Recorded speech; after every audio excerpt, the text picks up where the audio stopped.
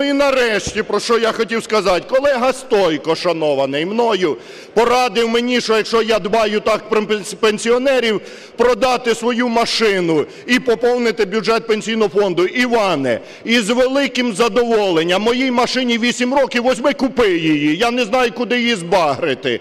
Возьми, дай мені гроші, і я ці гроші направлю до пенсійного фонду. Але водночас я звертаюся і до ваших лідерів показати приклад. Щодня бачу, як до Верховної Ради приїжджає Яценюк на трьох рейндж-роверах.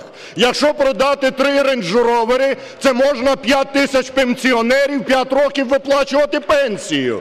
Я дивлюся, як ваш Яценюк ходить в супроводі п'яти охоронців, і всі вони оформлені помічниками народного депутата. Замість того, щоб взяти молодих хлопців, дівчат, які не знають, де знайти роботу, мордоворотів оформляють охоронцями.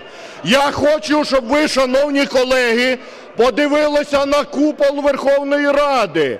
Купол Верховної Ради покритий платиною. Оцю платину сюди при, при, приплели у 2008 році, коли Яценюк був головою Верховної Ради. Якщо здерти оцю всю платину і продати, і пустити на пенсії, половину українських пенсіонерів можна 5 років пенсію забезпечувати. І тому ви мораль читайте комусь іншому, а не мені.